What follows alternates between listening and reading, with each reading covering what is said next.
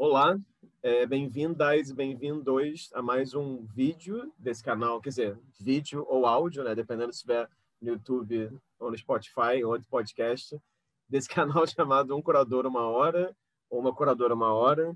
Só para explicar um pouquinho, é, esse canal consiste numa série de conversas com curadoras e curadores que trabalham no campo das artes visuais, de alguma forma se relacionam ao Brasil, ou seja, profissionais que nasceram no país e que trabalham, pessoas que nasceram aqui e trabalham no exterior, e pessoas que nasceram no exterior também e trabalham no Brasil há algum tempo.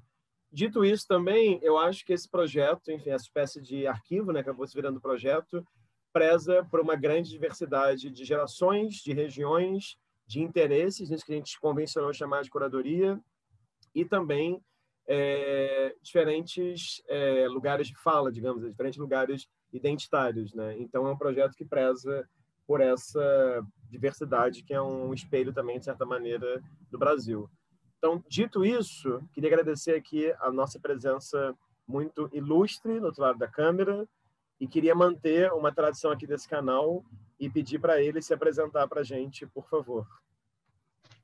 Então, antes de tudo, Rafael, super obrigado pelo convite aqui de, desse teu projeto, que até então desconhecia.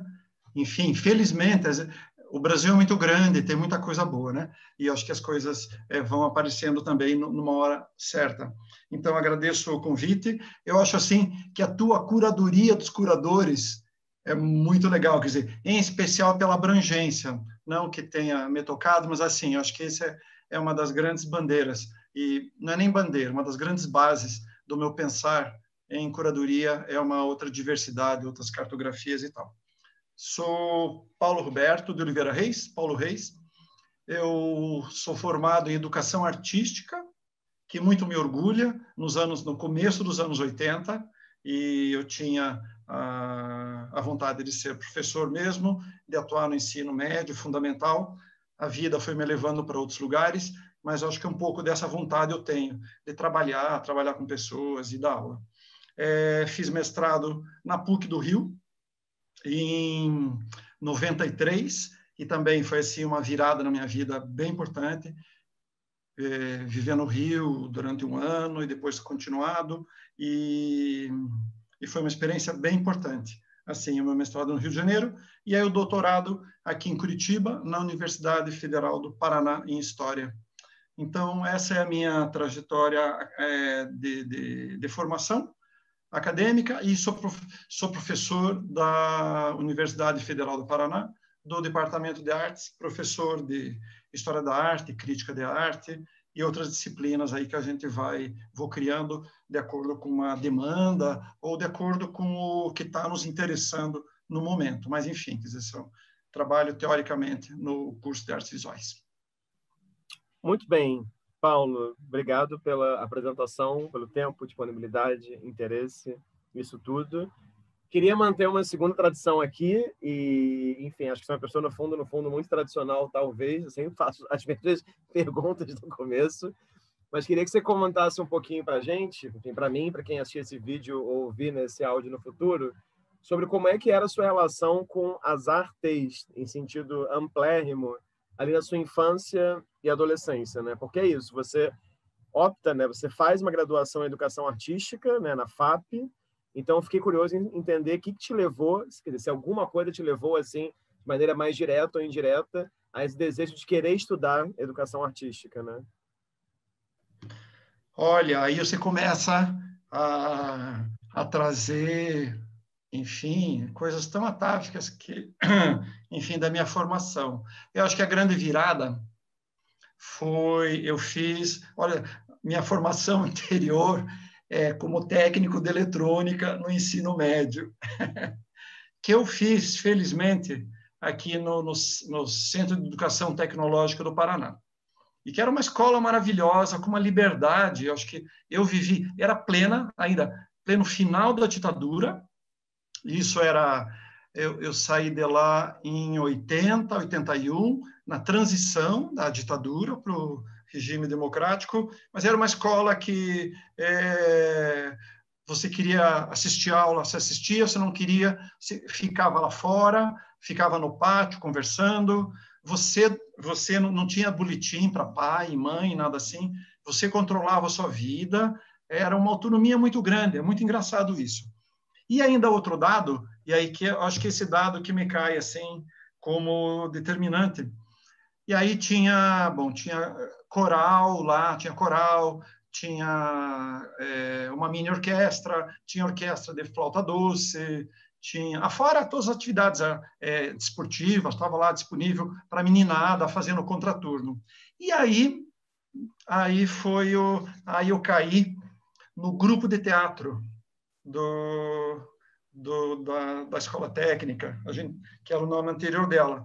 E aí, assim, dois anos eu fiz uh, curso de teatro e com um diretor maravilhoso, já falecido ator, diretor, José Maria Santos, um grande é, ator é, aqui do, do Paraná dos anos 70 para frente, e ele era o diretor do grupo, e a liberdade era total, assim, então a gente fez duas peças de teatro, inclusive a segunda peça, e também foi uma peça que falava, abordava, isso uma meninada, imagine, meninada de 17 e 18 anos, que está acompanhando o mundo, mas entrou no trem. e o trem está indo para algum lugar.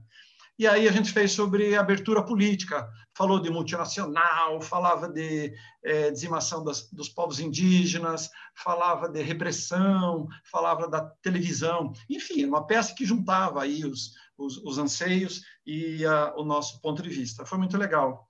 E aí isso foi determinante, assim, eu, eu, eu gostava muito de eletrônica, eu sou tipo CDF, adorava cálculos e fazia coisas, enfim, era tranquilão. Daí eu falei, olha, a vida pode ser boa.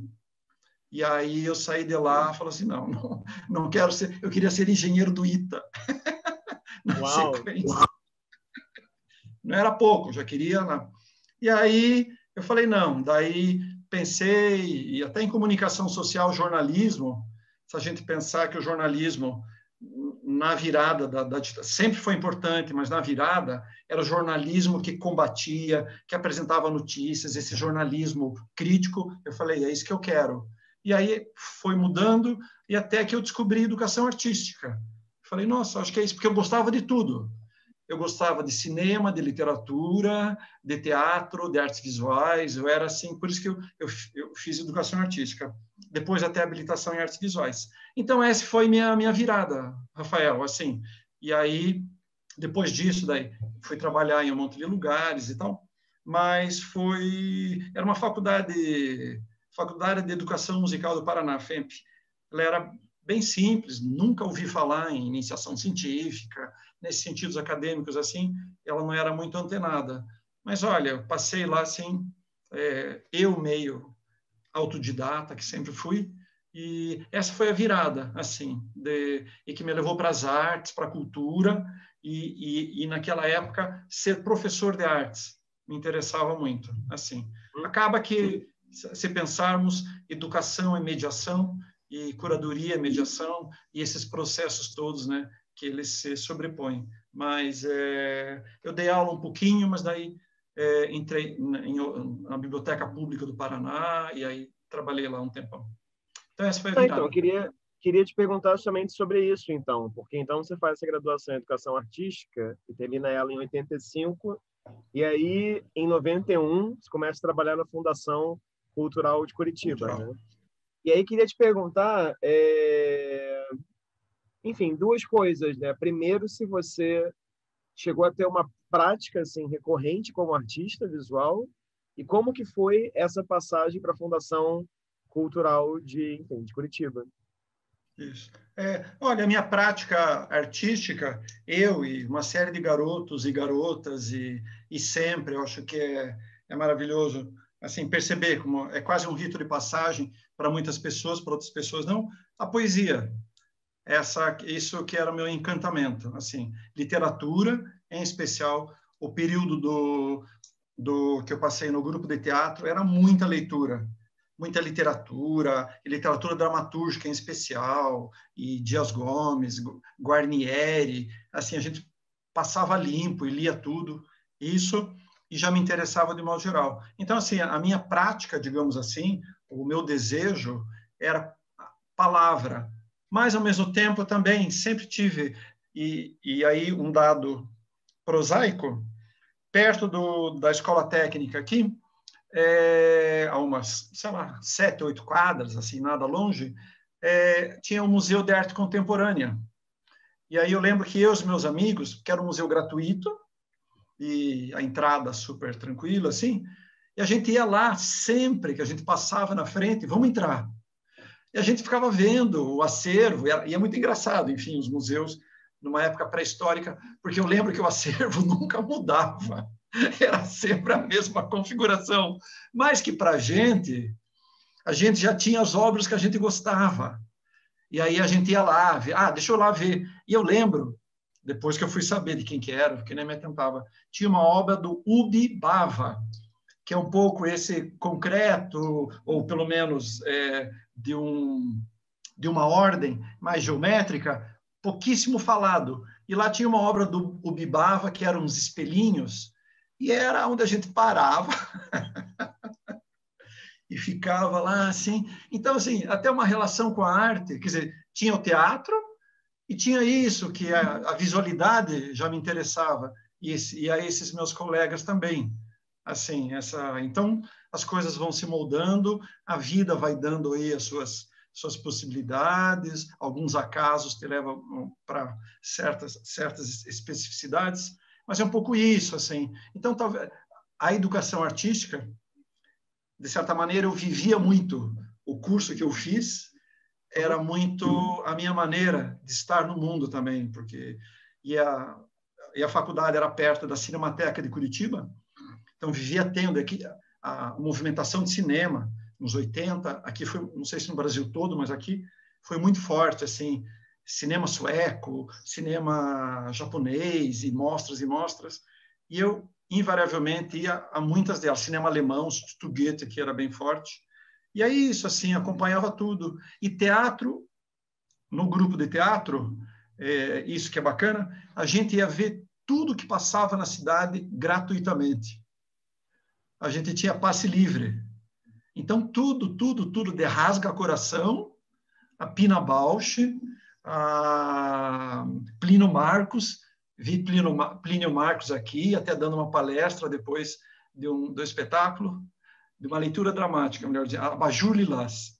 E ele fazendo depois uma conversa com o público, então, assim, acho que tinha uma efervescência boa aqui e tinha essa entrada franca. E, assim, e, eu como piá lá, enfim, é, pô, vamos lá, né? Vamos lá com os, com os, amigos e ver e tal, e, e curtir, gostar ou não gostar.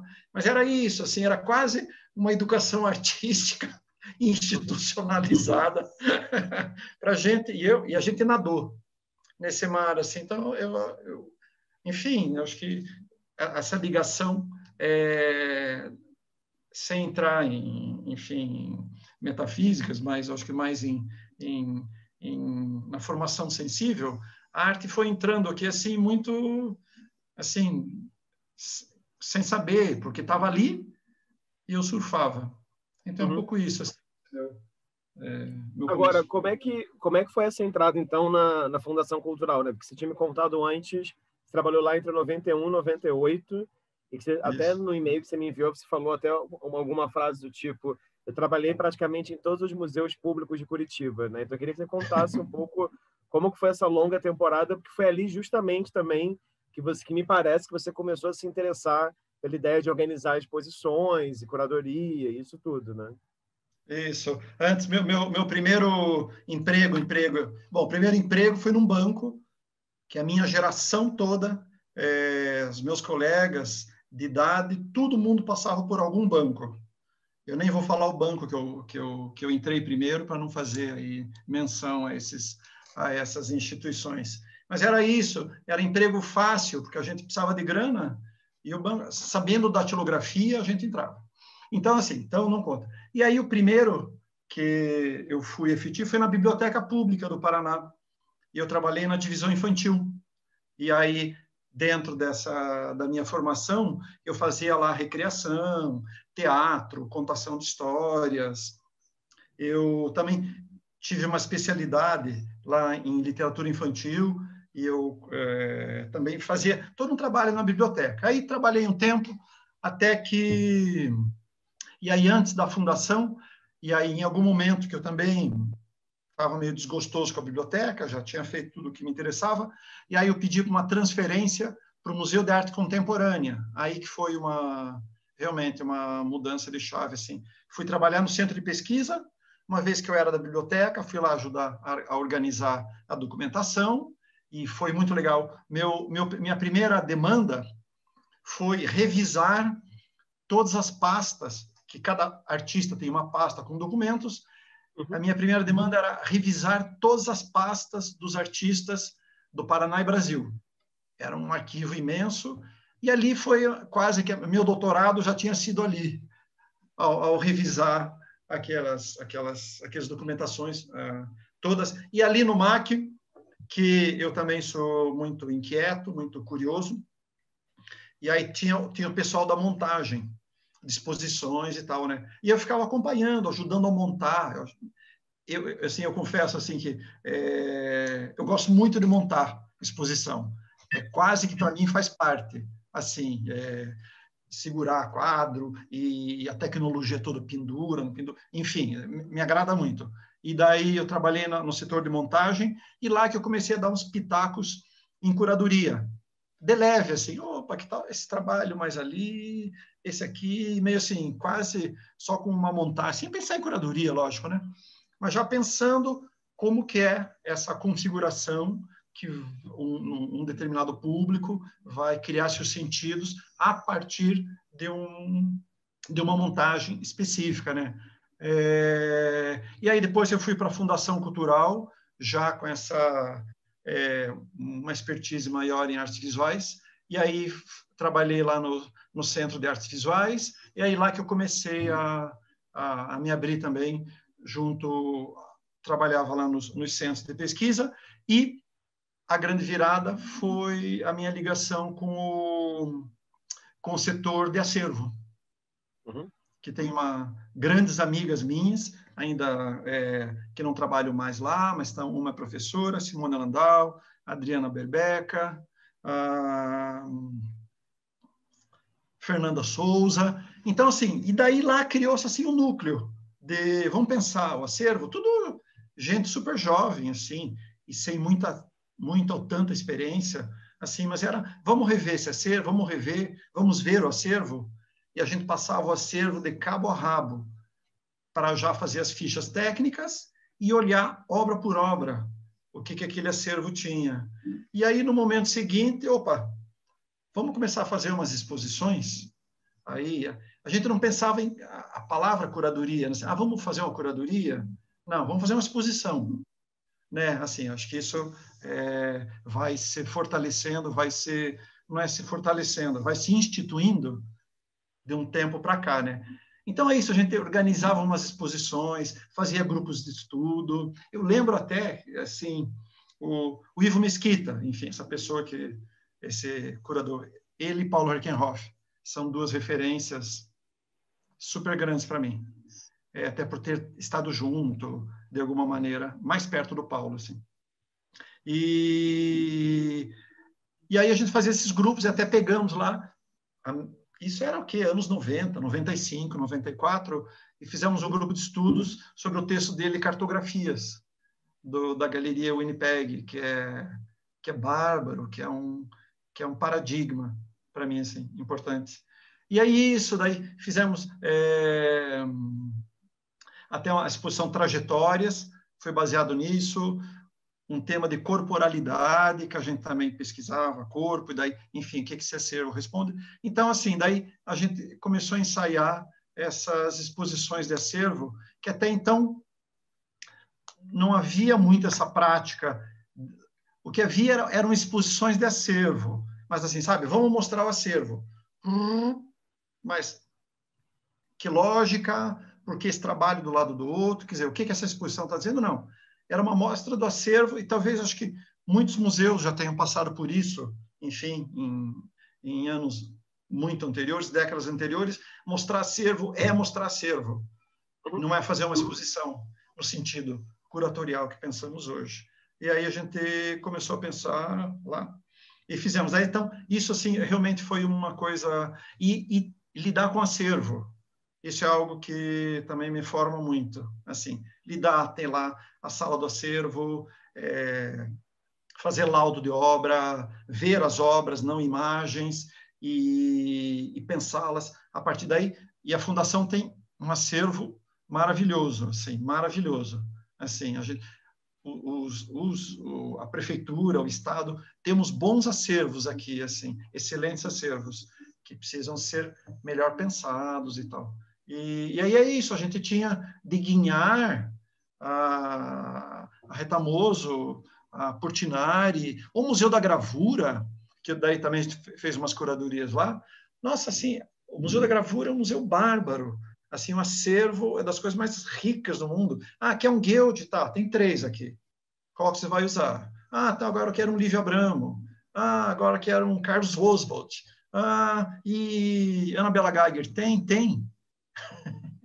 era, era, era quase, era um absurdo de tão, de tão genial assim. E a gente com essa possibilidade, eram pessoas ali que estavam construindo uma ideia de exposição, de pensamento, de pensamento curatorial, pensamento expositivo, que acho que a gente dava mais essa ênfase, e com acervo, que dá para fazer tudo. Assim, em especial o acervo da gravura. Tem Ciro Meirelles? Tem. Tem Walter Caldas? Tem. E era isso. A gente tinha na mão, assim. Infelizmente, na época, uma, uma direção positivadora. Sabe como? Tipo assim, se estão no lugar certo. Isso também, assim, institucionalmente, né? Quando a gente tem. Então, assim, foi assim uma lição de cuidado de obra e, e a gente montava. Isso que era legal. Tem a equipe de montagem, mas a gente estava lá junto, segurando e vendo, é, alinhando. A gente estava muito. Então era assim, acho que é uma coisa meio tudo, assim, esse que para mim é muito importante, assim, do nesse nesse pensar curatorial, mas que é um pensar expositivo, assim, quer dizer, com certamente um, uma ideia, uma proposição que seja. Agora, queria então, já que você está falando aí desse seu começo organizando exposições, que você acabou de falar que você não né, usava o termo curador, mas queria que você falasse então sobre dois projetos que você fez em 94, que me parece que são ali certas estreias. Né? Primeiro, você me falou por e-mail que é a exposição da Lígia Clark e essa outra exposição que você faz em 94 também, do Raul Cruz, que, como você falou por e-mail, é um artista que. Você, no e-mail você falou, ah, é um artista que ele é conhecido no Paraná, devia ser mais conhecido fora. E realmente pude olhar, não achei tanta coisa via Google, mas enfim, achei algumas coisas e concordo totalmente contigo. Então, eu queria que você comentasse um pouco assim, como é que foi fazer essas duas exposições e em que momento você acha no começo da sua trajetória que você começou a se intitular ou alguém te intitulou como curador, entende? Sei. Ou que eu mesmo começo a me pensar assim, né? Talvez sim, também, sim, né? Sim, exatamente. É. É, Porque é. nessa entrevista Olha... eu já ouvi de tudo. Eu já ouvi pessoas falando assim, olha, eu organizava exposição, um belo dia alguém falou assim, o Paulo é o curador, eu falei, Ih, sou curador e não sabia. Então, eu já ouvi isso. E eu sinto que na minha geração, e mais que na minha geração, numa geração mais jovem do que a minha, e você é professor, você certamente deve conhecer vários exemplos assim de pessoas mais jovens, né, abaixo dos 30, digamos, a pessoa mal entrou na universidade e já sou curador e curador. Então, é muito um polo oposto, na verdade, né? Então, eu queria que você comentasse assim, como é que foi a Lígia Clark, como é que foi o Raul Cruz, em que momento você falou, tá, eu acho que sou curador, né? Olha, então vamos lá. Eu acho que da Lígia Clark, eu trabalhava no setor de pesquisa do museu lá, Guido Viaro, que é um artista. Você conhece Guido Viaro? Conheço, conheço, conheço. Eu acho assim dos artistas, enfim, é, é um pouco essa essa figuração dos anos 30, 40, 50 precisa mais olhar, né? Assim, olhar generoso. Generoso não, porque não precisa ser generoso com aquelas coisas maravilhosas, mas um olhar mais escrutinador, né? Que tem nosso projeto construtivo apagou muita coisa, não por culpa, enfim, não tem culpa, mas temos que trazer isso. Guido Vieira é um desses. Então, trabalhei lá no Museu Guido Vieira, no Centro de Pesquisa, como atendente de pesquisa. Ah, o que você quer? Está aqui uma pesquisa de Voltaire? Vamos lá ver os arquivos, livros. É uma bibliotequinha preciosa e um, e um arquivos de pastas também. Assim, centro de pesquisa realmente foi meu aprendizado e na, nos horários de, de, de folga eu ficava, ah, hoje eu quero ver sobre, sei lá quem, é, três nós três. Então, o que, que tem aqui? Sempre tinha alguma coisa. E aí, assim, eu trabalhava lá e também inquieto, eu falei, só esperar, assim, os pesquisadores, que é muito legal, pesquisadores muito legais e, e bons papos, mas falei, não, tem que, deixa eu dinamizar aqui. E aí eu, eu inventei para, como prazer, prazer intelectual e mesmo programação, exposições didáticas.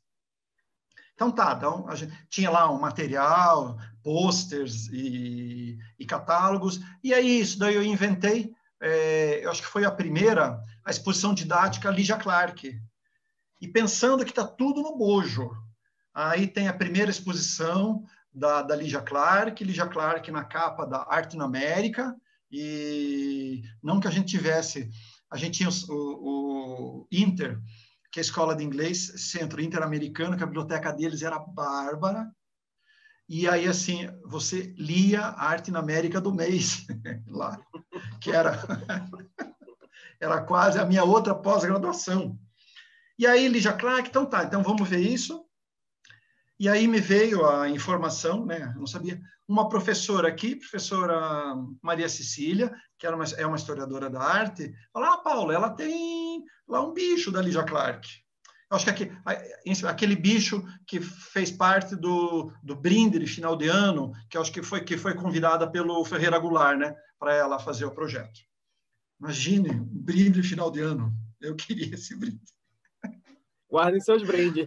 Aquilo é mesmo, né? Guardem seus brindes. Guarda aí. e aí, eu falei com ela, é, ela, ela, tinha sido diretora do Museu de Arte Contemporânea, e aí a rede de sociabilidades. Aí, até porque aqui é menor, enfim, essa rede é super bacana, assim, eu acho que é sempre muito positivadora, precisa de alguma coisa, está todo mundo disponível. Ah, e aí, professora Maria Cecília, tal, a gente soube e tal. Ela falou, ah, dá para se emprestar? Imagine hoje. Ela falou, ah, sim, posso emprestar, sim.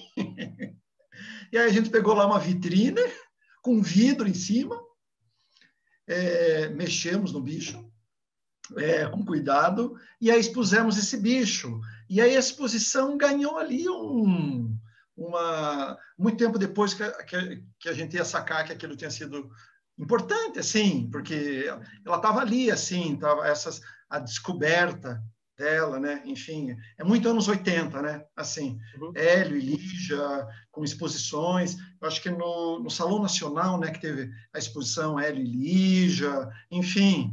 E aí a gente estava meio no bojo disso também, descobrindo e mostrando. Então, essa, essa sim, acho que foi uma, uma exposição. É, ainda assim, era uma exposição didática mas que tinha esse bicho lá e tal. Aí, a do Raul Cruz, realmente, eu me meti ali num, num projeto Profi, numa, era com produção, levantamento de obras, e o Raul, esse artista, enfim, é, que é absolutamente importante aqui, chamado da, da geração, não é geração 80, porque isso não existe, é, ele era um pintor dos anos 80, não só pintor, também foi diretor de teatro, performer, é, um grande gravador, e que faleceu em decorrência da AIDS em 93. E aí, assim, ele era um cara, uma pessoa muito interessante. Eu, eu conheci ele pouquinho anteriormente. E aí me convidaram para, em especial, a Eliane Prolich, uma artista daqui, que é super amiga, parceira também de muita, muitos projetos, e a Denise Bandeira, também outra super parceirona, e agora ela dá aula numa outra universidade de artes, a gente tem muito contato. E aí me convidaram, Paulo, você quer entrar no grupo de curadores aqui da exposição? Eu, sim, né? o que, que tem que fazer? e aí, foi muito legal, assim, é, a gente levantar toda a obra, visitar, visitar os colecionadores é, e as primeiras é, ideias de fazer recorte das obras e tal. Então, assim, acho que ali, nesse, nesse realmente, nesse projeto, é que se colocou, enfim, né, essa, essa discursividade toda, que é uma exposição, enfim, da, da, da do olhar certos trabalhos de colecionadores, escolher esse é importante ou não, do acervo, do acervo dele mesmo, que ele havia deixado, tinha muita coisa boa, muita, muita coisa boa, e aí montar, montar a exposição, e a gente daí construiu duas exposições, uma com a produção de gravura, que é no Museu da Gravura aqui de Curitiba, esse museu que também já, já tinha trabalhado, e outro no Museu Metropolitano, é, que fica no, um pouco mais distante do centro, que era o grosso da exposição, com pinturas e desenhos. Então, assim, mas isso foi um tempo muito grande, assim, é, de preparo, de discussão, escrever texto, ah, de pensar as conversas, de pensar a etiqueta. Foi assim, a gente, eu, eu então entendi muito mais assim, dizer, uma, uma exposição que tinha lei de incentivo e tal, a todos os seus afazeres. E aí tem um, um texto lindíssimo do Ivo Mesquita. Uhum. No catálogo do, do Raul Cruz, assim. É um texto muito, muito, muito... O jeito do Ivo, assim, né? Muito, muito legal. É, então, é essa, assim, acho que foi a, a, minha entrada num projetão que, que eu acompanhei todas as etapas e aí senti, enfim, quer dizer, a, a, eu vou falar uma palavra, não, certamente não é, não é, não é problemática, mas talvez eu tenha sentido a, a encenação, tudo que faz parte dessa encenação de cena, demonstrar a obra, enfim, as suas diversas camadas, assim. Então, essa, porque na fundação a gente tinha na mão, levava a, a, tinha os montadores, a gente junto, mas era um circuito mais assim, ó, é, a obra, o acervo do museu, e a gente vai mostrar no museu, maravilhoso. Mas aí a dimensão era outra, era de um acervo, em grande parte, particular, é, e as negociações com os, com os colecionadores e escolhas, e eu acho que é, atividades paralelas, palestra, catálogo, também saiu um catálogo bem lindo, assim. É, então é isso, assim, nesse sentido, assim, foi essa essa entrada numa exposição é, com tudo a que tem direito ou com com toda a produção que ela deve ter, né? Assim, e, e, e eu assim, eu, eu, gosto muito realmente assim de participar de todas as etapas. Eu até te, tive alguns projetos que são eram mais profis, assim, profissionais, e era a divisão do trabalho. Eu, eu gosto de estar em todos os setores, eu gosto, eu gosto de montar, eu gosto de ver, eu gosto de ver mais próximo, mas não, eu gosto de estar ali, assim. Então, participei também de alguns projetos que era um pouco, tinha, é, eu era um pouco o trabalhador alienado, no sentido que essa instância, nenhum problema, nenhuma frustração, é só outro, mas que eu não tinha eu não tinha possibilidade de ingerência ali. E isso e montagem, assim, quase a montagem ao nó, assim, a montagem, a, a encenação, né? Em francês tem, né? Parece também um pouco pejorativo, cenografie, né? Cenografar, né? Assim, mas em algum momento cabe, assim, porque é um pouco isso que a gente monta. É uma cena e, e queremos é, aproximar obras mais densas, queremos aproximar cor, queremos a, a, aproximar determinadas discussões poéticas. É isso, a gente constrói, porque é, exposição é o espaço que as pessoas vão ver arte, né?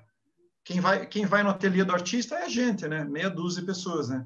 Mas uh, acho que talvez assim, por isso que exposição para mim é algo é importante. O nome exposição que exposição é a esfera pública. Monta-se uhum. e ela depois se desintegra. E por isso que é, acho que e todas as etapas são importantes. Agora, então, deixa eu te fazer uma pergunta, Paulo, seguindo um pouco aqui. É... Você vai fazer o mestrado no Rio, entre 96 e 98. Você vai pesquisar Denilson, é, Denilson, Ih, desenho e Leonilson, misturei desenho e Leonilson virou Denilson, que horror. Você vai pesquisar o desenho Leonilson na PUC aqui do Rio. E aí depois você volta para Curitiba, se eu entendi corretamente, você passa no concurso, começa a trabalhar na Universidade Federal do Paraná.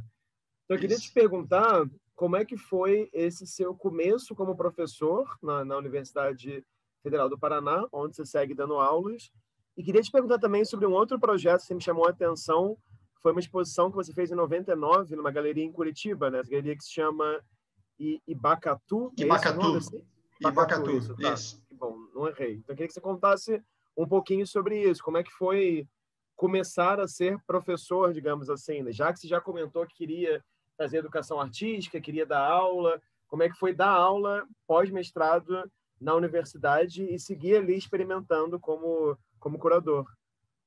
É, tem só tá, tá, tem só um detalhezinho que para mim é importante e daí porque conte, porque porque só está comigo. Mas assim, aí eu acho que é, esse teu projeto, outros projetos que caminham nesse sentido, que visam uma pluralidade, mostrar, enfim, eu, também estou num projeto aqui de uma crítica que é a da Alice Araújo, eu quero pensar pensar mais a da Alice Araújo, é uma crítica que estava aqui, tem todo um projeto, mas ela está dialogando com um monte de coisas aí pelo Brasil.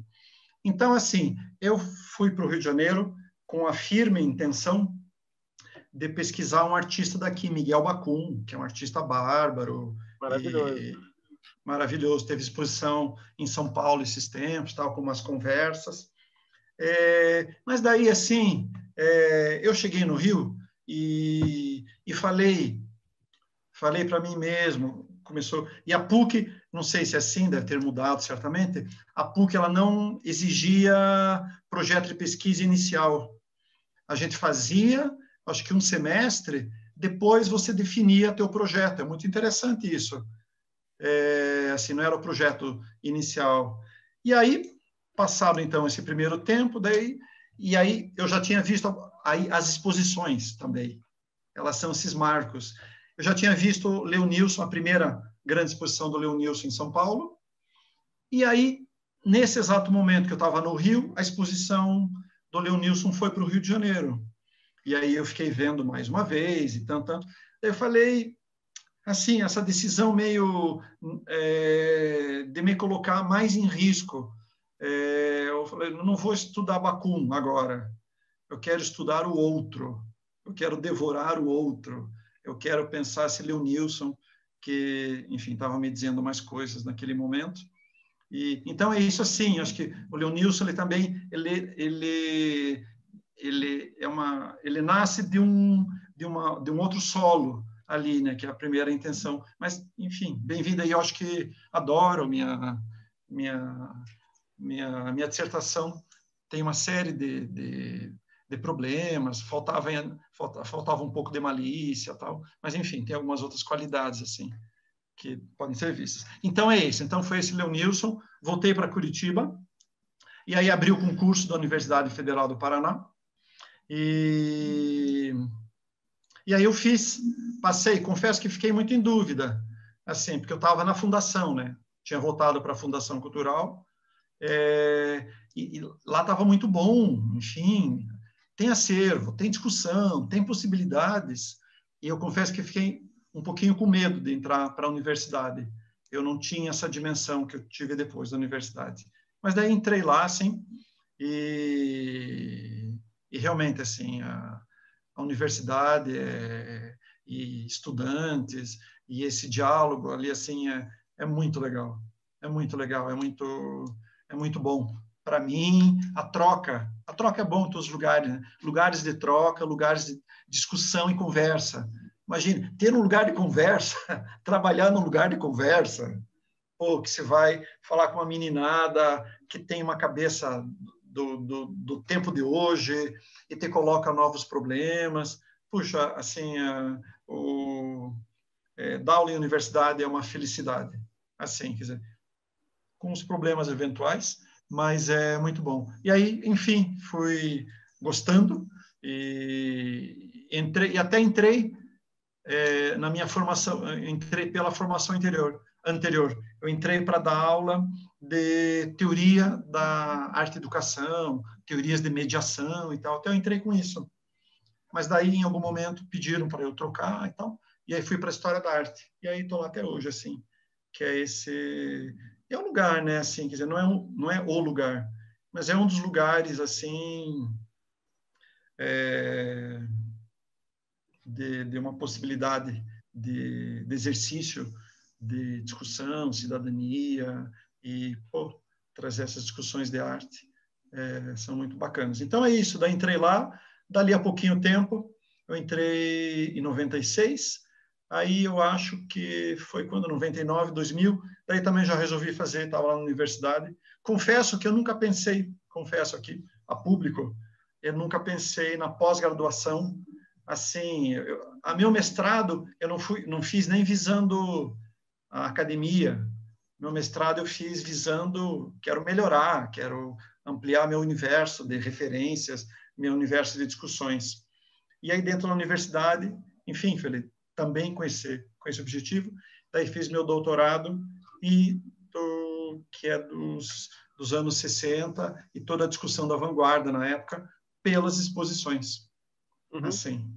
E que daí o meu meu orientador é maravilhoso, Marcos Napolitano, sempre tem que ser dito, foi assim, orientador, ele está na USP agora, uma pessoa maravilhosa e o melhor orientador. Bom, na, na, na PUC também tive é, o Luiz Camilo, foi meu co-orientador, e o Marcelo Jasmin, que foram meus meus orientadores, assim, foram meus guias. Então é isso assim. Então essa foi a, aí essa trajetória, daí entrei na universidade, né? E aí. É... E, e, esse projeto que pegar, você fez na, na galeria? Deixa eu pegar na... a cola. na galeria Ibacatu. Isso, conta aí desse projeto. Você falou que foi um projeto. Quando você me escreveu no e-mail, você falou assim: ah, acho legal falar desse projeto, porque esse projeto foi um dos projetos, foi um dos primeiros projetos mais autorais que eu fiz. Você usou esse termo. Isso, que não, que não foi um convite, que não era um projeto coletivo, mas tipo assim, é o meu problema.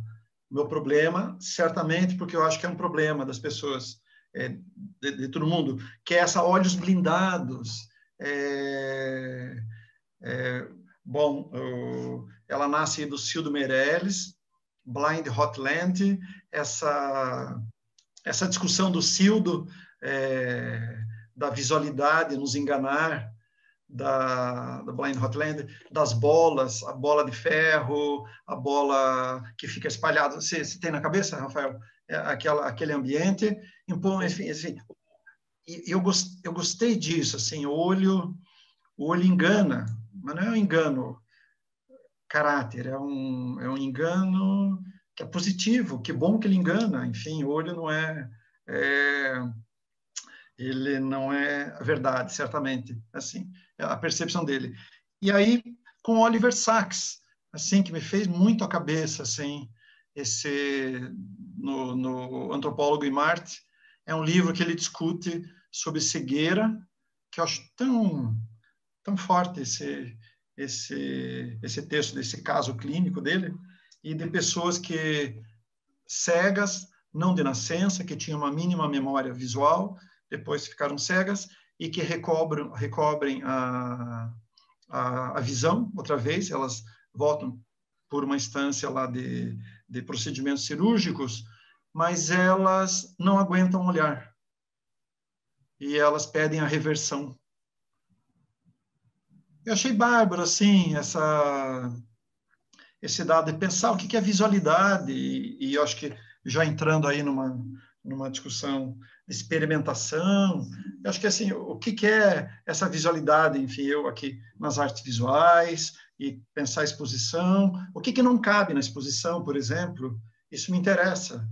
Assim, o que está lá fora, o que, que a gente não vê, que é importante também, e aí todo, é, enfim, uma série de proposições é, conceituais, e talvez, e já puxando aí para um outro projeto que também é, nos, é um dos projetos, talvez, é um, um dois, para os outros projetos não ficarem enciumados, mas é um dos projetos mais legais, que eu gosto, assim, não que, ah, que é maravilhoso, que ganhei o Oscar, mas que para mim que é o Corpo na Cidade, que foi esse levantamento de performances na, em Curitiba, de, de 70 até a data que eu fiz o, o, a exposição, que era 2000 e, 2009.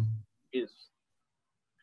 Então é isso, assim, isso não aparece, isso não existe, isso não é visto, ou se foi visto, é só memória, ou é só fotografia, ou é só relato. Me interessa essa visualidade e cada vez mais me interessa a visualidade que não cabe no museu.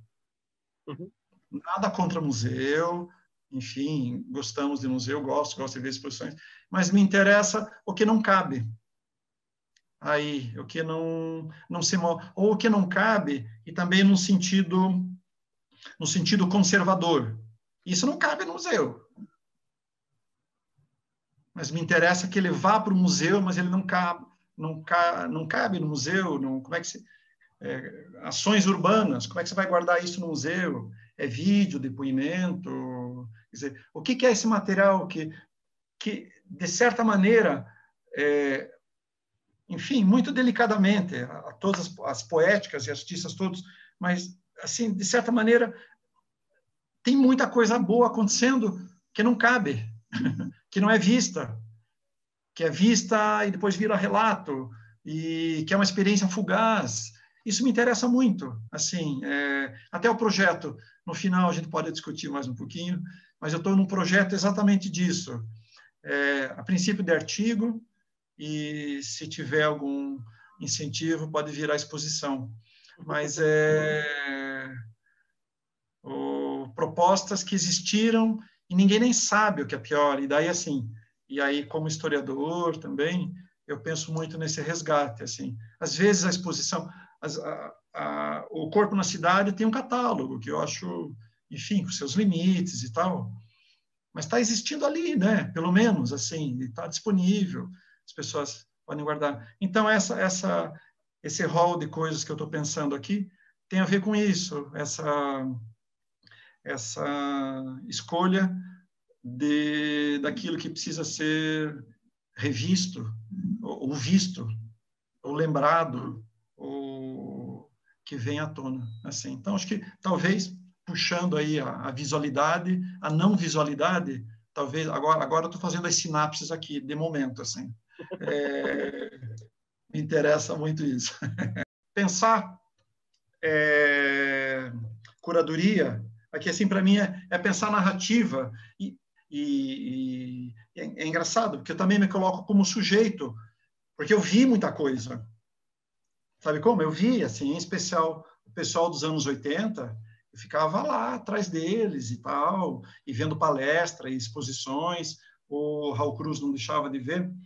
E aí, assim, eu acho que essas escolhas têm a ver e, com uma maneira de demonstrar o invisível. Aí, no caso, obras muito visíveis, pinturas, mas de que maneira que eu construo? Acho que assim a ideia para mim de narrativa é bem importante, assim, nesses nesses projetos, assim.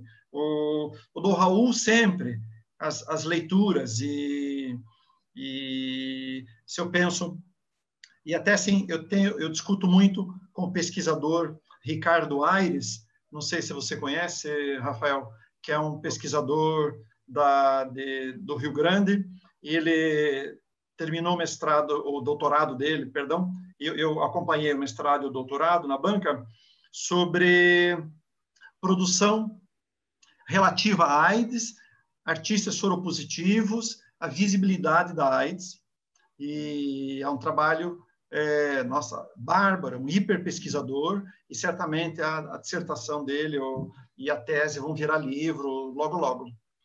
E ele até me chamou a atenção para uma coisa, enfim, que eu não sabia. É, ele falou: a minha dissertação do Leon Nilson, dissertação, enfim, com todos os seus problemas, mas foi a primeira é, dissertação acadêmica em artes a abordar AIDS e artes. A relação, enfim, que, que era meio premente, enfim, era há pouco tempo, estava lá no Rio de Janeiro, é, 96, 97, 98, e então isso também me interessa, assim, essa, essa narrativa certamente me interessa em Leonilson, depois até construí um artigo também é, para falar que era o momento final da. É o meu único acerto da dissertação é esse. Assim, de resto, eu comprei nos anos 80, que absolutamente não é o que eu penso hoje, absolutamente.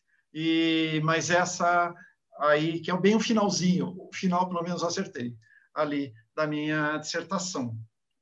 E aí o, Leo, o Raul entra muito por isso, assim, Raul Cruz, o Raul Cruz, perdão, e coincidências é, cronológicas, o Raul nasceu e faleceu no, no mesmo ano que Leonilson, assim, eles faleceram com a mesma idade e, e o Raul Cruz também tem uma produção que volta-se muito, assim, em especial a produção final para a questão da AIDS e tal, e isso me interessava, assim, bastante.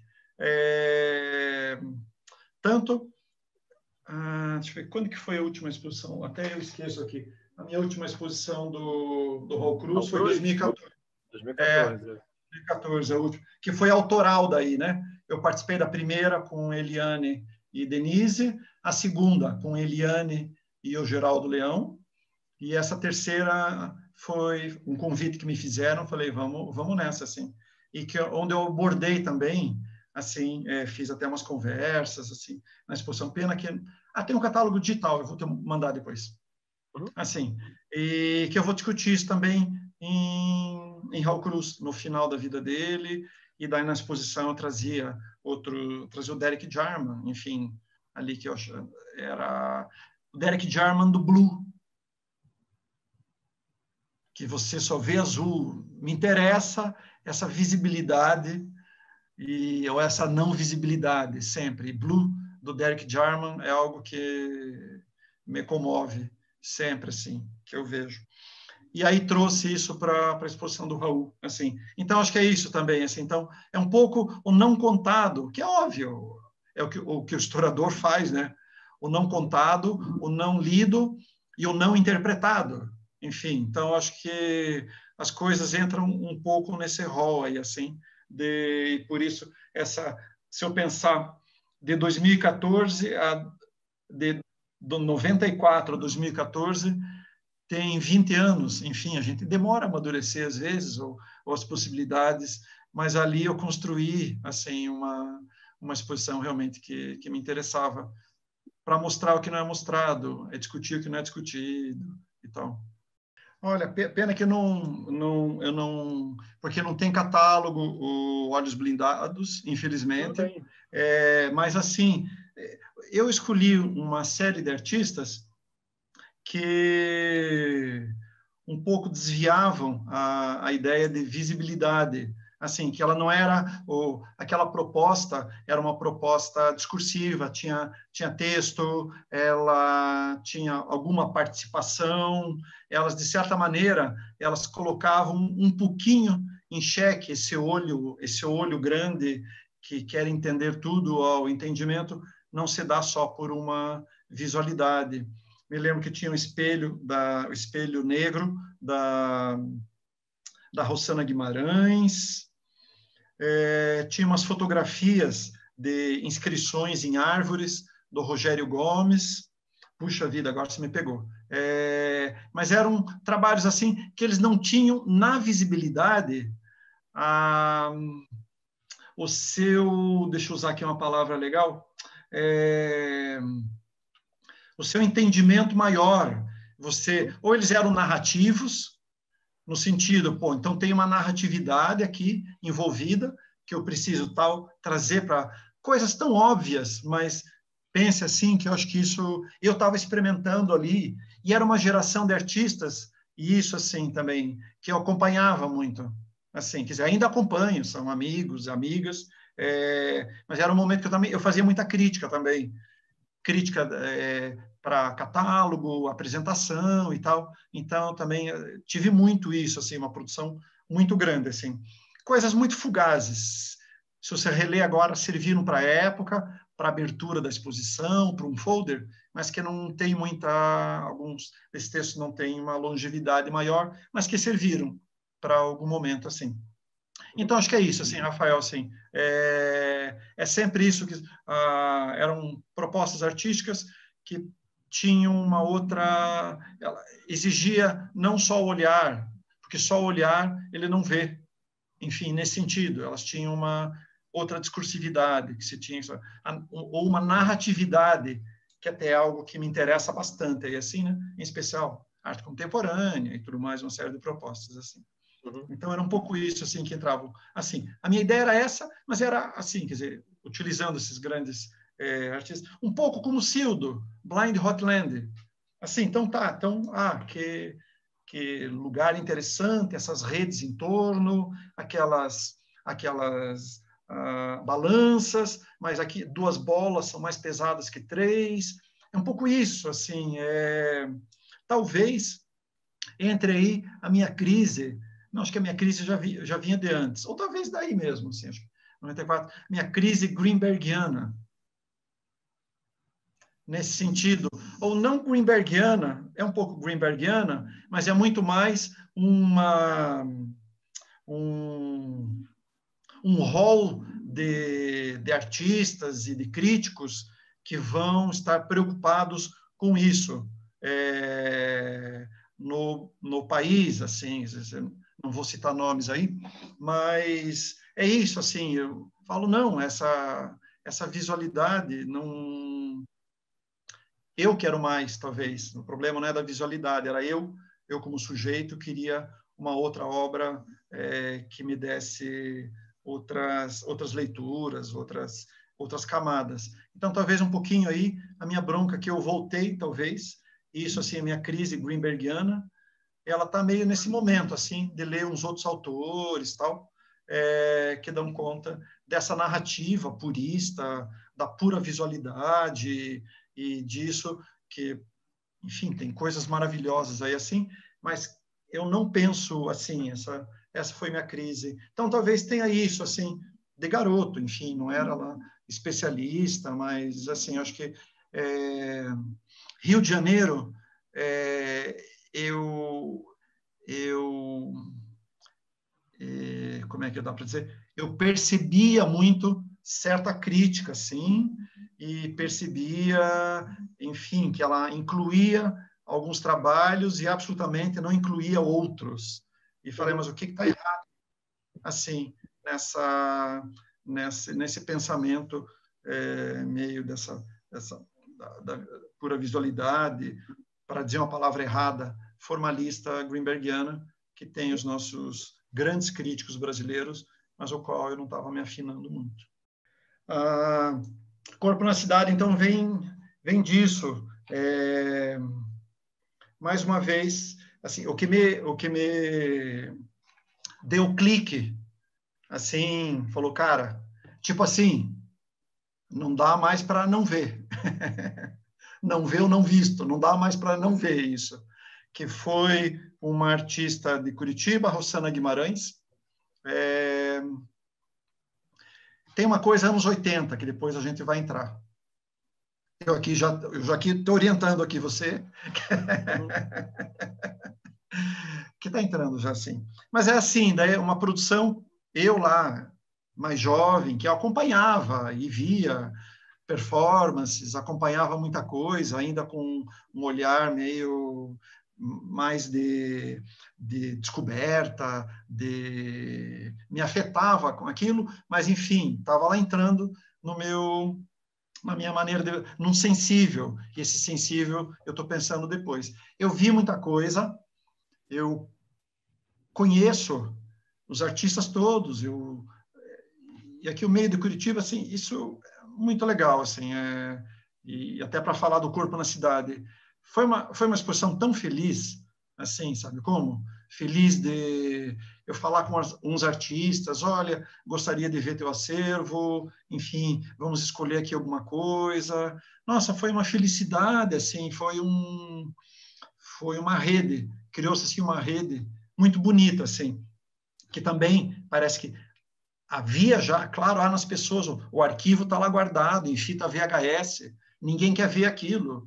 E eu, eu até ajudei na época, é, ajudei, eu colaborei com a memória, eu emprestava as fitas VHS dos artistas e devolvia pelo menos em CD. Enfim, opa, já tenho mais uma um pouco de vida, assim, tem a coisa da memória.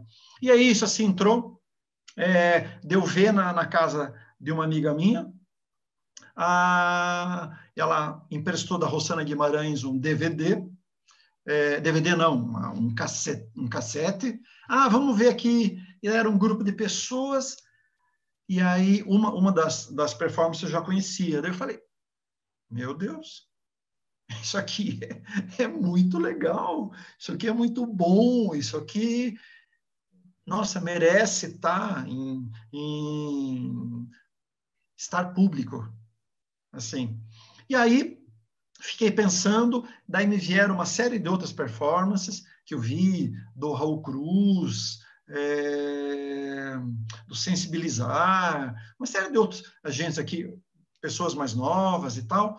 Eu falei, puxa, eu acho que tem que reunir tudo isso aí e, e aí com a pesquisa fui descobrindo algumas outras coisas que eu não que eu não conhecia, alguns trabalhos que eu não conhecia e aí foi fui fazendo esse mapeamento graças às, às leis aí foi uma lei municipal de incentivo à, à exposição. Eu entrei na, passei ganhei uma grana que putz, deu tudo legal não era uma coisa rouanet assim que era muita grana. Mas a gente que trabalha com pouca grana a gente faz o dinheiro render bastante. E aí é isso, daí, assim, daí, enfim, pesquisar linhas históricas, trabalhos, visitar todos os artistas e pedir permissão, qual que eles, qual que eles gostariam. Em alguns momentos, eu afirmando que eu gostava de mais é, algumas performances, eu achava, é, enfim, para o espaço público ali, para ser mostradas mais interessantes. Mas, assim, foi, foi muita negociação legal. É, é, muito VHS transformado em, em, em CD, e, e, foi assim, sabe, assim, foi mais trabalhoso do que a pesquisa foi muito tranquila, assim, porque muito eu já tinha, já conhecia, fui daí levantando com os artistas, é, daí material de imprensa, é, fotos e também outros tipos de registro. E assim, eu não me lembro. E até porque eu estava com um escritório de, de design, e aí isso que é super legal. Um escritório de designers de ex-alunos meus, que eu também tinha dado História da Arte na Federal. Então, você imagina, assim, o clima era, enfim, falar lá com, com eles, enfim, já era uma relação de uma afetividade que veio da universidade. Então, assim, foi uma exposição muito feliz, assim, e resultou numa enormidade. Assim, era o Solar... Você conheceu o Solar do Barão, né? Sim. Lá, que é o Museu da Gravura tal. Nossa, a gente preencheu uma boa parte com... Tinham, tinham vídeos, é, muitas fotografias, TVs com, com cenas de vídeo, é, fotografias, e tinha uma, um, um expositor com exposição feita para o espaço impresso, onde a gente também mostrava ali algumas publicações com isso, assim. E foi assim, eu gostei muito, assim, e por isso, assim, ela ela trouxe uma história invisível, ela trouxe, juntou fios, é, eu cerquei um pouco artes visuais, é, não abri para performance da dança, performance em teatro, é, até porque eu conhecia menos. Hoje, eu já faria uma inclusiva. Eu bagunçaria mais ainda o coreto. Mas na época, por falta. Atualmente, eu conheço muita gente de teatro, circulo muito com o pessoal da dança também, enfim. É, até porque a performance me aproximou deles também. Então é isso, assim, acho que foi uma, uma exposição que me dá muita alegria e que eu acho, enfim, quase meio inédita no Brasil, assim, é, que eu penso que Recife, eu penso que Cuiabá, eu penso que Manaus, eu penso que todas as cidades mais ou menos, tem uma trajetória aí, assim, que deveria ser. Já tem muita mestrado, já tem muita. Zé Mário, o Zé Mário, que é performer, ele fez a dissertação dele também nos primórdios da, da performance em Salvador e tal. Então é isso assim, me, me agradou muito assim trazer isso e ainda participar do festival Performance Arte no Brasil, que daí fui convidado, né, é, para participar. É, que daí era uma série de curadores e aí isso ainda mais legal ainda. A Daniela Labra, ela fez, é aí que tá, ela fez certo também. Ela fez o festival Performance Arte, chamando pessoas de todo o Brasil para compor uma boa narrativa com diversidade. A gente fala viva diversidade, mas às vezes a gente esquece assim, né? Então, viva diversidade também serve para curadorias. Ótimo. Vamos lá então. Vamos falar, conta um pouquinho sobre o panorama da arte brasileira. Você, Ricardo Rezende e Ricardo Basbaum, como é que se deu esse convite e como é que foi fazer? Eu já entrevistei o Ricardo Rezende, então tenho na memória a versão dele.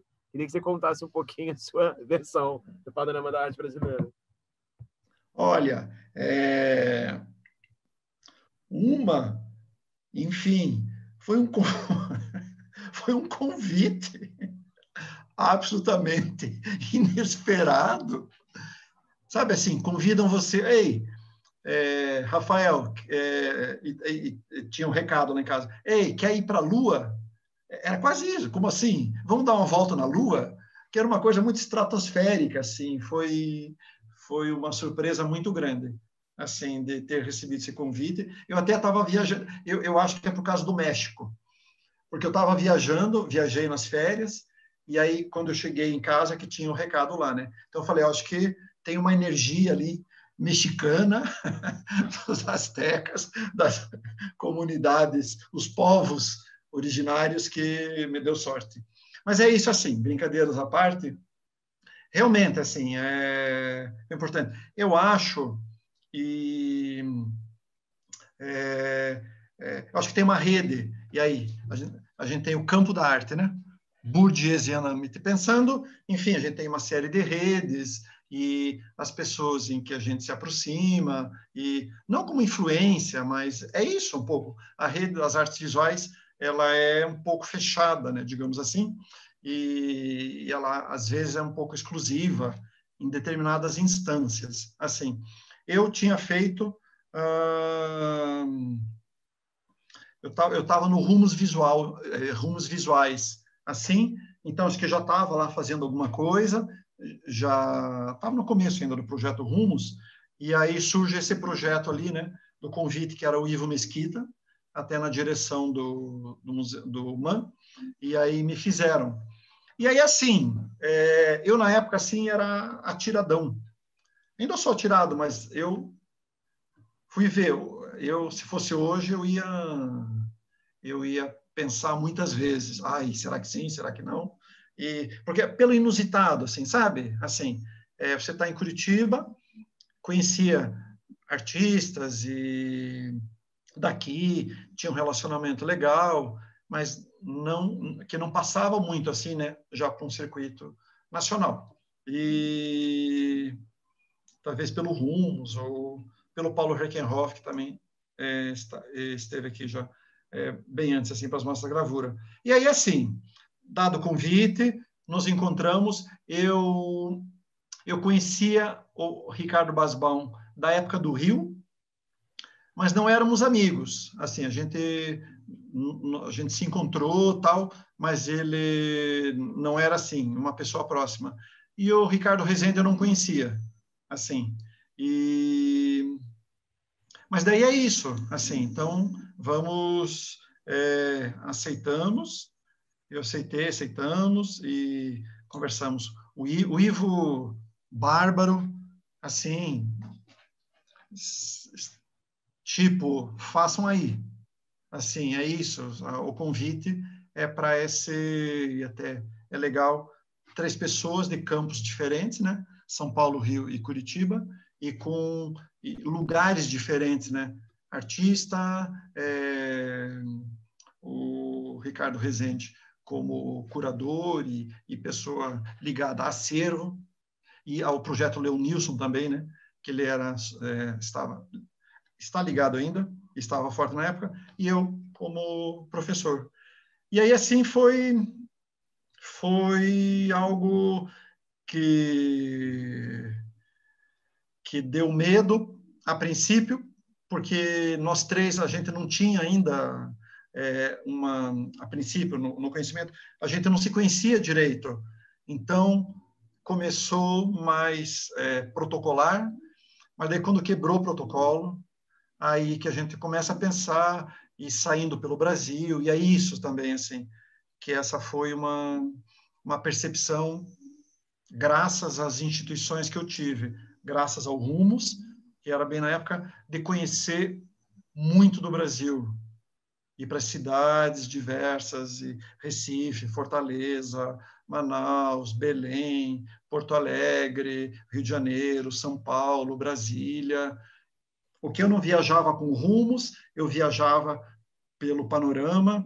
Então, essa visão foi muito importante para mim, para entender, enfim, quer dizer, esses outros campos, como funciona. No rumos que a gente tinha um pouco essa, até como uma observação que era necessária, assim, entenda assim, daí no Rumos eu fazia mais o interior, fui para Florianópolis, era mais sul do Brasil, fui para cidades menores, assim, e a ideia era assim, perceba assim, tem universidade, tem galeria, quem são os agentes da arte, era uma coisa muito instrutiva, muito, assim, essa maturidade de entender um pouco esse meio, assim, então, eu estava nesse, nesse, nesses dois projetos que se, em algum momento se sobrepuseram, mas eles só se somaram, assim, dessa...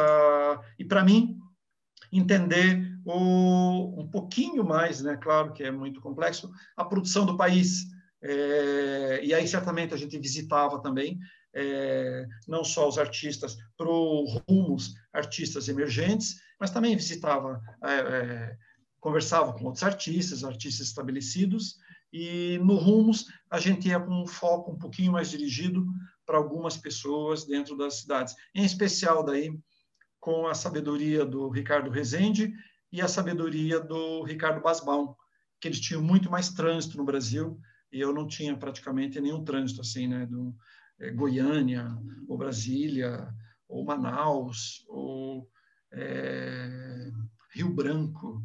Cara, é muito legal, assim, foi muito muito uma experiência de, de se entender um pouquinho mais dentro dessa enormidade, produção, conversar com as pessoas, é, professores de arte, agentes, é, museus que tinham nos lugares.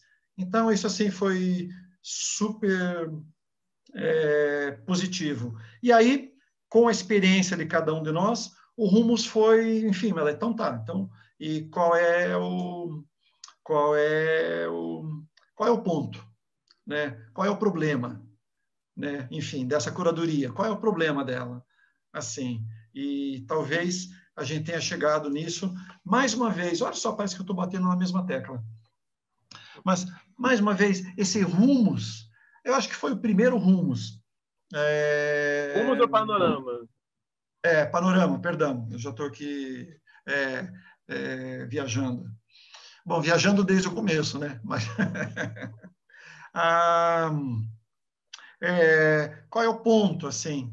E aí, pela experiência do, do Ricardo Basbão, e aí era um momento super importante das organizações independentes de artistas, e aí sim, é um panorama que tanto que teve dois catálogos, né?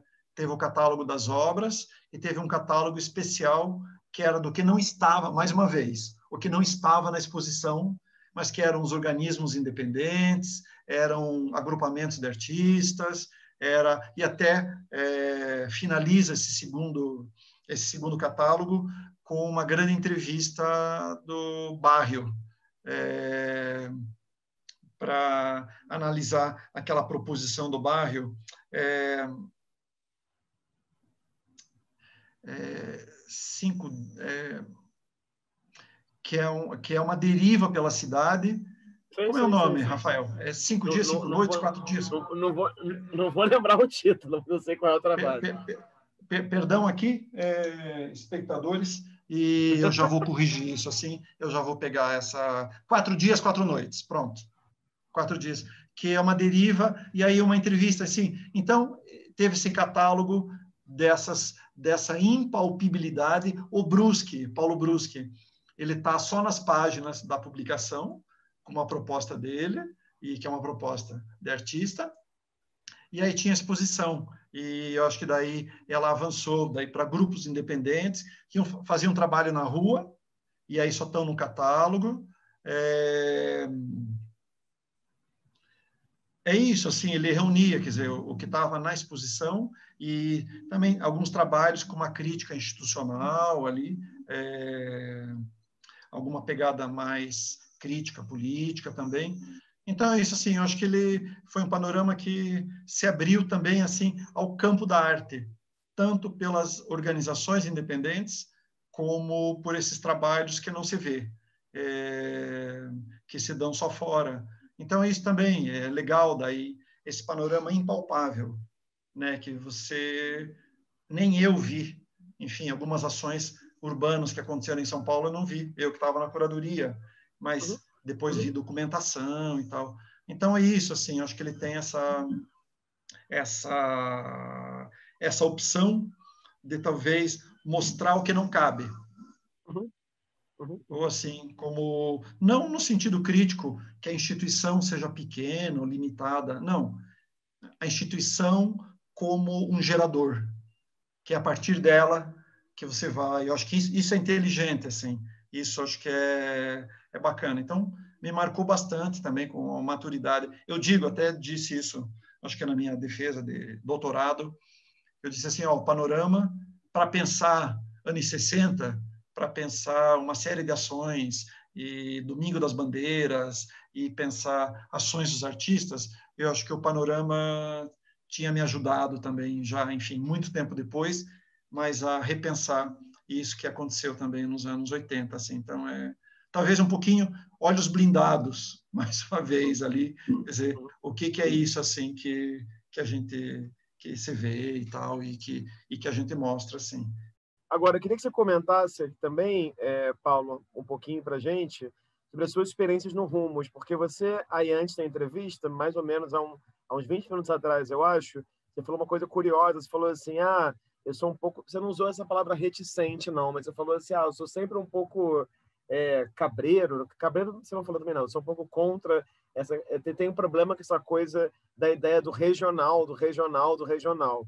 E o Rumos era um, o Rumos Artes Visuais, né, do Itaú Cultural, era um projeto que ele era muito pautado na ideia dos regionais, né, querendo ou não. Então, assim, curadores diferentes regiões do Brasil, né, que pesquisavam e aí se uniam. E você participou de duas edições, né? As 2001, 2003, as 2008, 2009.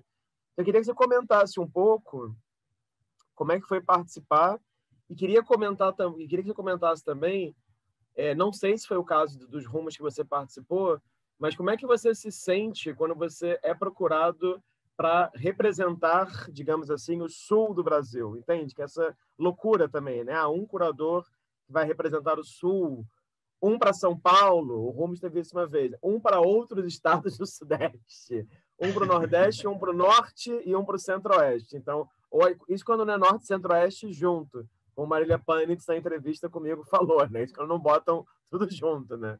Então, eu queria que você comentasse um pouco, assim, como é que foi a experiência rumos é. e como é que você se sente quando te convocam para esse lugar de representante regional, né? Pois é, pois é. É interessante pensar o, os ganhos e perdas. Porque uma vez eu acho, acho, espero que mude, não sei se está mudando, mas enfim, eu acho que a única possibilidade, e com todo respeito a todo mundo que me convidou para eventualmente algum algum, trabalho de uma amplidão maior. Eu sempre aceitei isso com maior vontade de contribuir, e mas eu, eu, eu, eu confesso que pensava, mais uma vez, que todo mundo que vai ouvir isso aqui não, não ache isso um demérito, mas eu senti assim, eu entrei por ser de Curitiba. Só que, sabe, enfim, é, é, é, é muito é, flores e espinhos aí no meio dessa história, porque porque é isso, eu entrei ali na, na, na brecha, na cota, ali do. Mas, assim, dizer, uma vez lá dentro, a experiência que eu tive era, enfim, com pessoas excepcionais ali junto, né, Marília Panitz, enfim, tanta gente mais legal, Marisa Flórida, é, o ambiente é de troca direta, não tem essa. Eu acho que teve no convite mas é assim, né, Rafael? Se a gente pensar alto, a velha história, como que a gente pensa um Brasil maior? Um Brasil cultural, artístico. Você não é chamando agentes de, de, de, de determinados lugares, né? Assim, claro. então, eu creio que eu acho que tem duas maneiras de chamar alguém de Curitiba. Uma, hum, a gente precisa de alguém do Sul, e outra, pô, já vi que aquele cara. E, e eu tinha feito talvez me ajudou também é, a, minha curadoria dentro da mostra da gravura, que era uma história da pele, com o meu, nossa, a pessoa das pessoas mais admiráveis e que eu devo muita coisa a ela, conversas e possibilidades que ele me, me, me proporcionou, que é o Paulo Reckenhoff.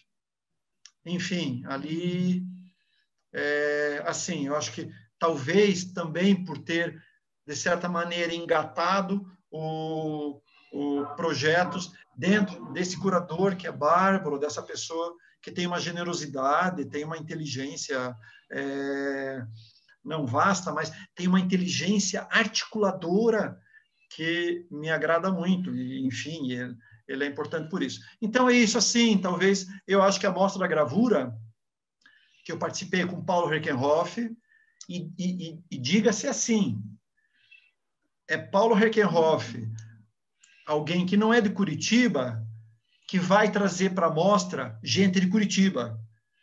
Que quando a mostra era organizada por pessoas de Curitiba, eles não chamavam outras pessoas de Curitiba.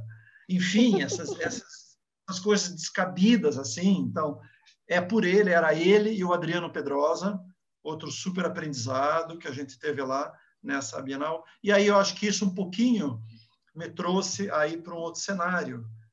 Enfim, é isso. Bourdieu explica tudo. Assim, é... mas assim, só agradecido, assim, porque nossa, são experiências assim é, fantásticas, assim, e, e confesso, assim, publicamente aqui, que o meu primeiro Rumos eu gostei muito mais do que o segundo, não pelas pessoas, mas pelo que eu consegui fazer. O primeiro Rumos eh, era muito legal, viajar para o interior, viajar para a cidade do interior, conhecer lugares maravilhosos, pessoas maravilhosas, que eu também conheci no segundo, mas era mais capitais. Então, o Rumos 1, assim, eu era o curador assistente e foi bem mais é, eficaz e gostei mais, assim. Uhum com o fato, o segundo Rumos ter sido o Paulo Sérgio Duarte, que é essa pessoa muito legal, muito inteligente. Bom, ele já valia tudo. Marília Pantes e o Alexandre Sequeira, enfim, era só gente boa, assim. Mas eu acho que o que eu fiz de mais importante foi no Rumos 1, assim.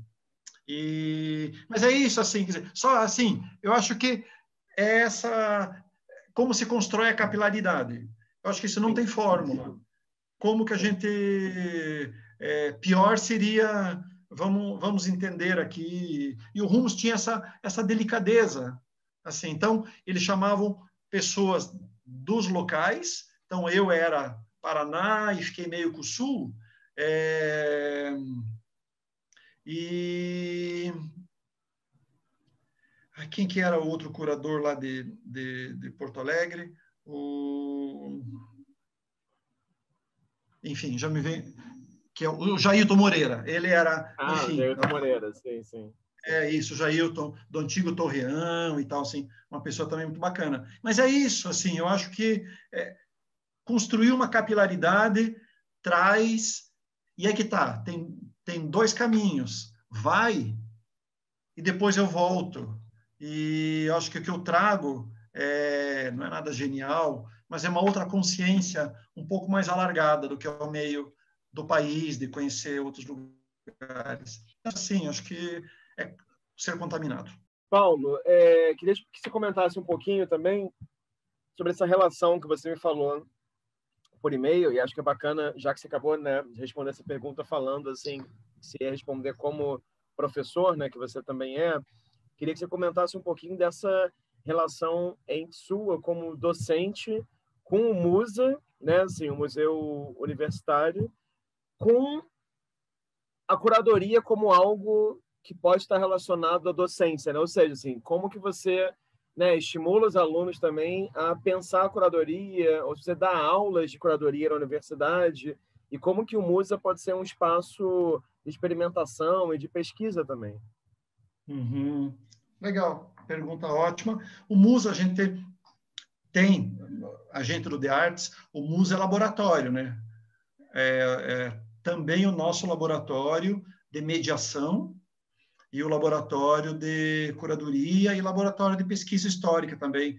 O, é um museu pequeno, mas tem um acervo precioso, assim, algumas obras bem preciosas, assim, tem, tem uma Anabela Geiger ali, assim, antiga, daquela série visceral, das vísceras, é, que é bem legal, porque era assim, eram obras do Salão Paranaense premiadas, e aí que é a universidade. Então, assim, tem, tem um acervo bacana e tem algumas doações sendo feitas assim. Então, assim, eu ando meio distante do Musa de atuação, eu, eu participo mais do conselho, é, do conselho para decidir as questões do Musa, exposições e tal, e, e menos e menos atuante na, na, na mediação ou na, na, na, construção de exposições, que é isso acho que as, as, curadorias que eu fiz lá é, são já antigas, né? É, é, a última de 2014 até, né?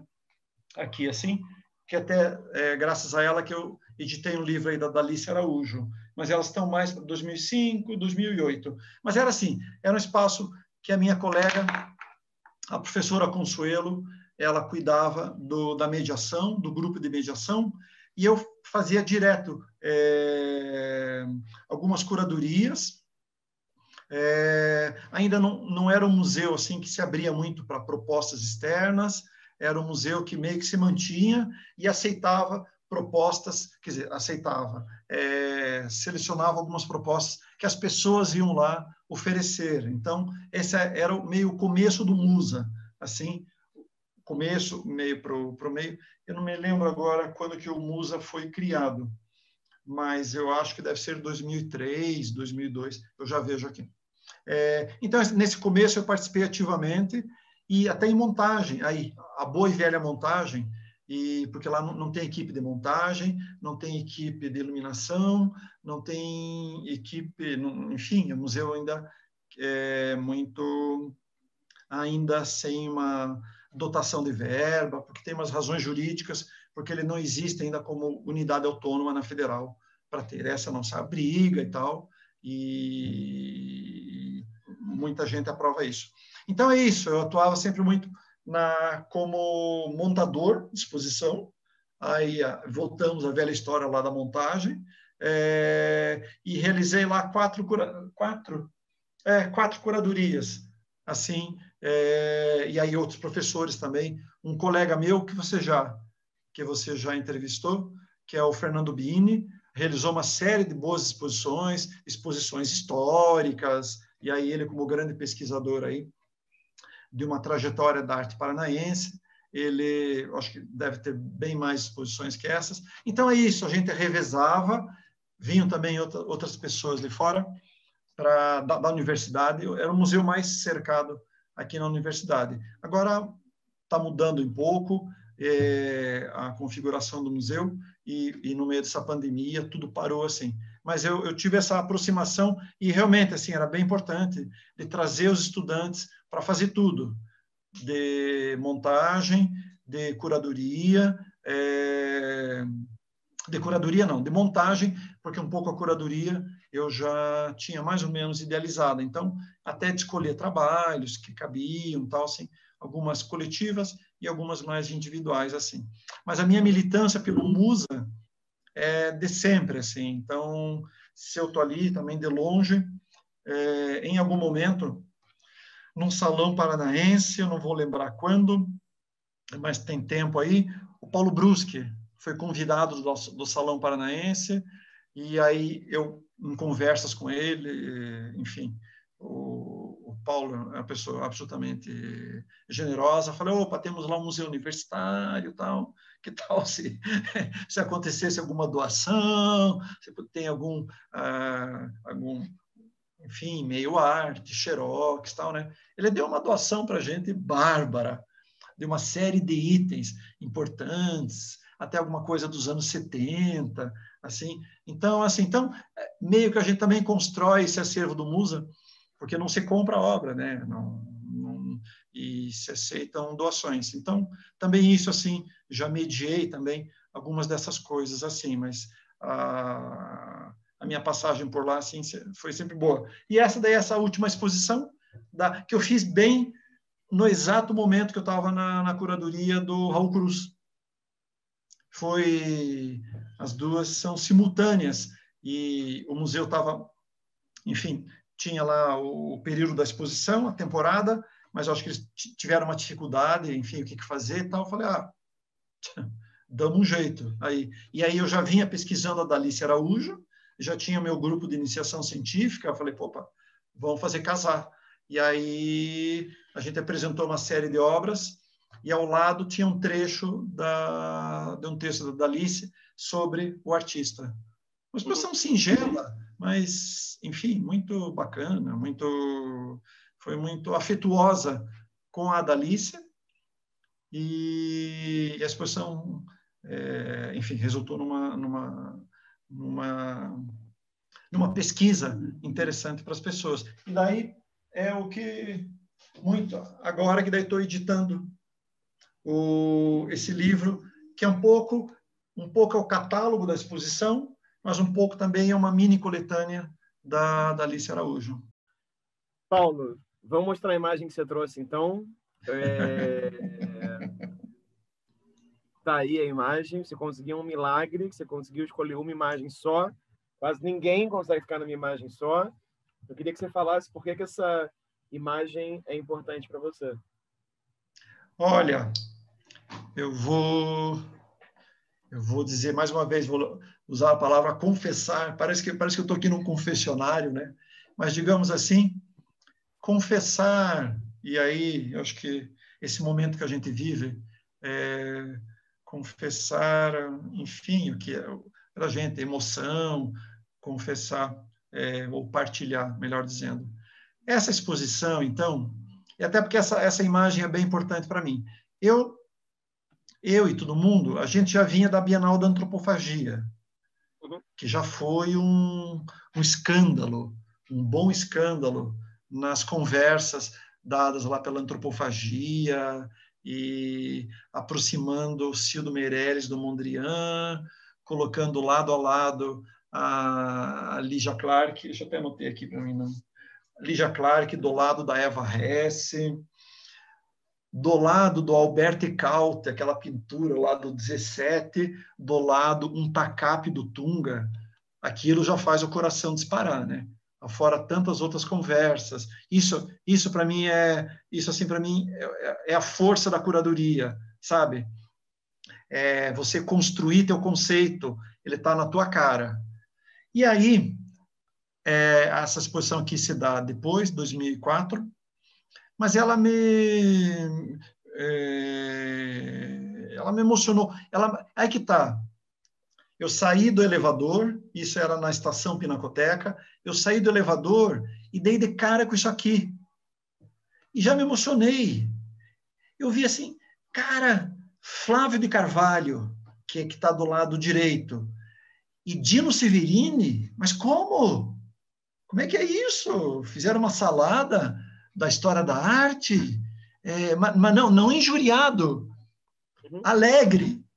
Eu falei, cara, ruiu o, o colosso de areia.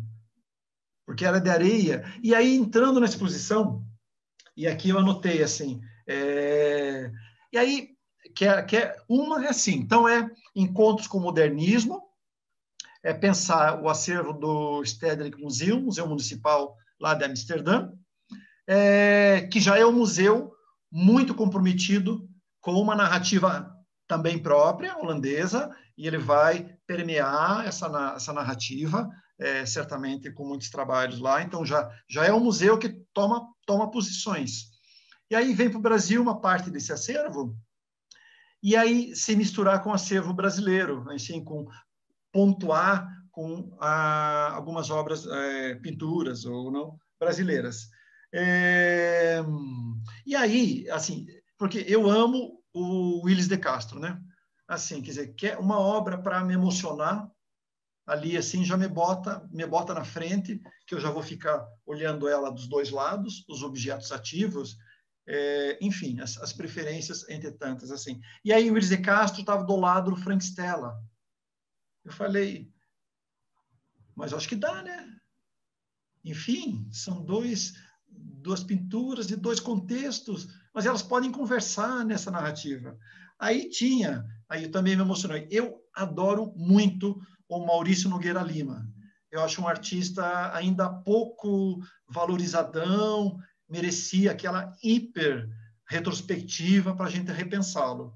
E gosto de todos os períodos, em especial o período pop dele, que eu acho um pop radical, talvez o pop mais aproximado do pop norte-americano, daquela imagem que não é quase nada, uma imagem que é abstração, uma imagem esvaziada. E aí tinha o Maurício Nogueira Lima do lado do Andy Warhol.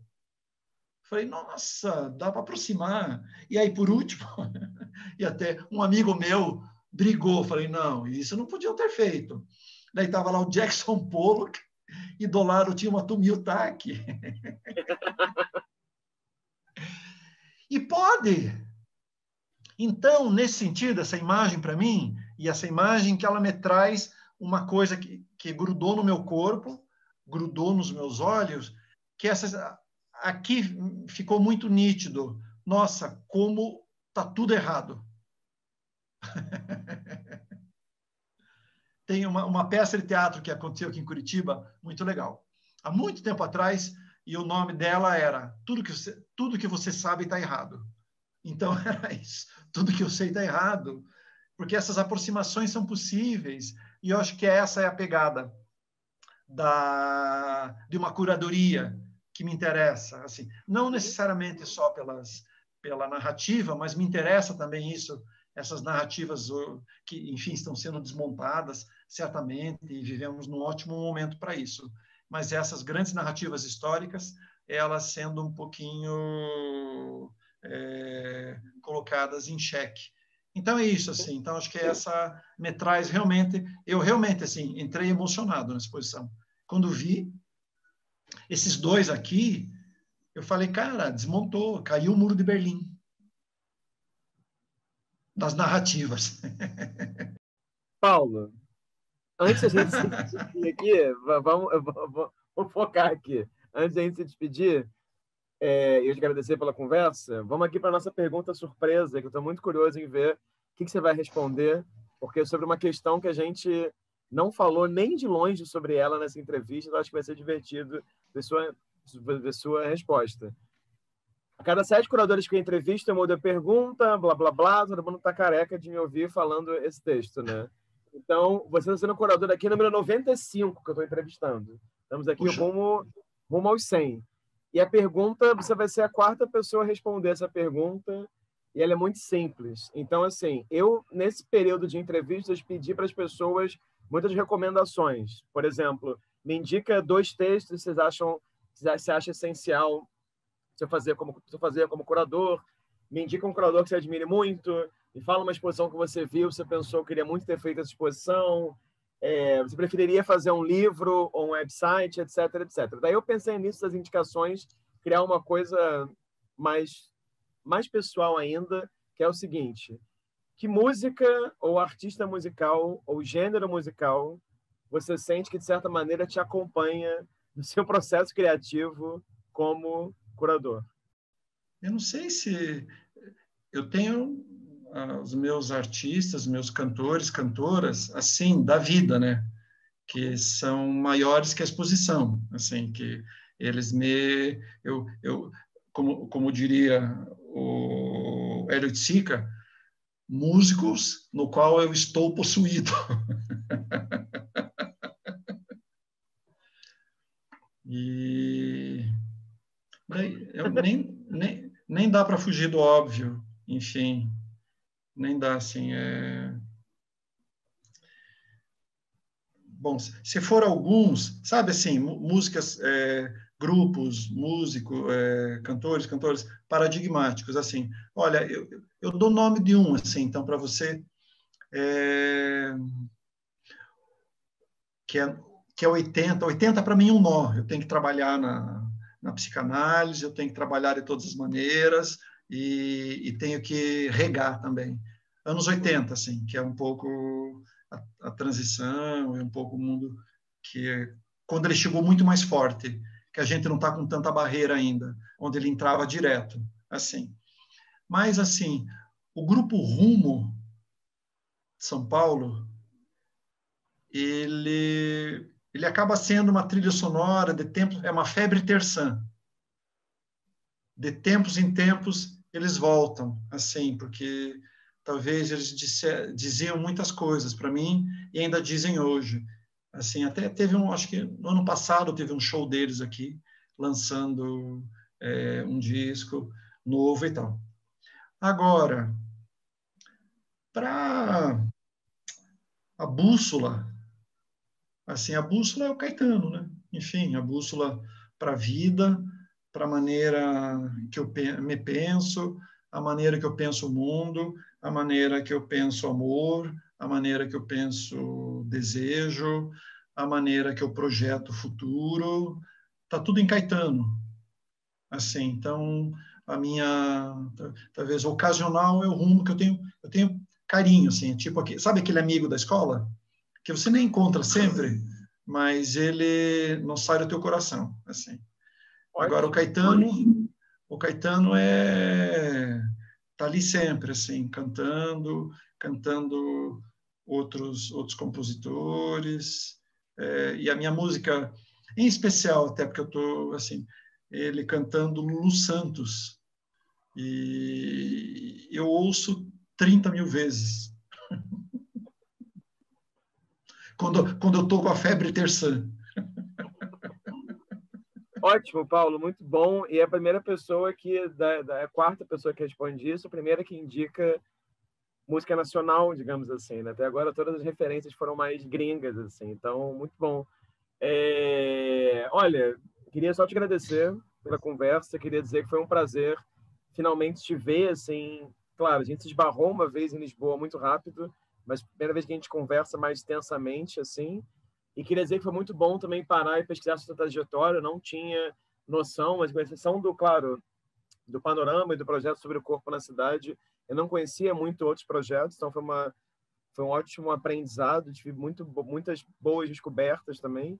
E queria só aqui expressar minha admiração, assim, desejar boa sorte nos próximos passos e projetos, seja na curadoria, seja na universidade, e que eu realmente torço para que você consiga um dia fazer esse projeto aí que pensa nos anos 80, que eu acho que é uma questão assim essencial, urgente e acho que seria muito bacana de ser feito mesmo. Então queria só te agradecer muito por tudo. Obrigado, Rafael. Também eu, achei ótimo te conhecer agora e e acho que é uma aproximação bacana e acho que acho que é para frente, é para a vida, enfim, a gente vai se encontrar mais uma promessa pós-pandemia, eu, eu ir ao Rio, a gente se encontrar. Mais Não, uma. Eu ia Curitiba aquela. também, claro, né? Ou, Hoje putz... tanta gente de Curitiba, eu tenho que voltar a Curitiba, né? Porque assim, é uma maratona de entrevistas de pessoas de Curitiba maravilhosas. Assim. Então, a gente certamente se, se esbarra ou aí ou, ou aqui. Bom, para quem assistiu até aqui, essa foi uma conversa com o Paulo Reis, que curador, que vive em Curitiba. Então, a gente agradece aí a vossa presença virtual e lembra que nesse canal tem uma série de outras conversas com outros curadores das, enfim, das várias regiões do Brasil e de fora do Brasil também, né, que vão no exterior. Então, obrigado pela presença virtual aí, pela escuta ou pela visão atenta, né? Não sei se vocês viram esse vídeo no YouTube ou estão ouvindo via algum podcast. Então é isso, obrigado e até uma próxima.